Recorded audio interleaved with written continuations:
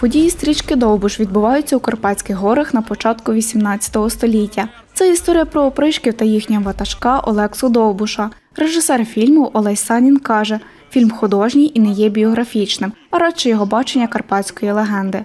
Я працював над цією картиною, ну можна сказати, що 10 років. З групою я працював ще два до запуску фільму. Але це все така специфічна історія. Але головний факт для розуміння, що фільм закінчений був повністю до повномасштабного вторгнення. У нас 12 травня позаминулого року мала бути прем'єра. І вона не сталася, тому що ми ну, з одної причини не встигали закінчити картину. Ну і в кінотеатрах не було людей.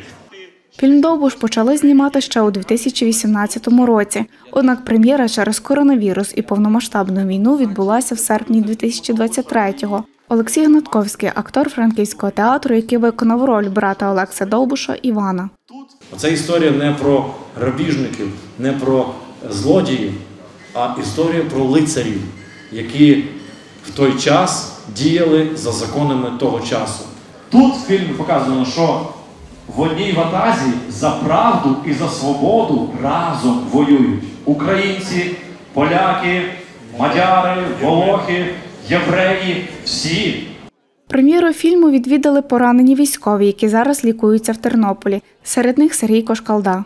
без підтримки його знімати вже потім не будуть.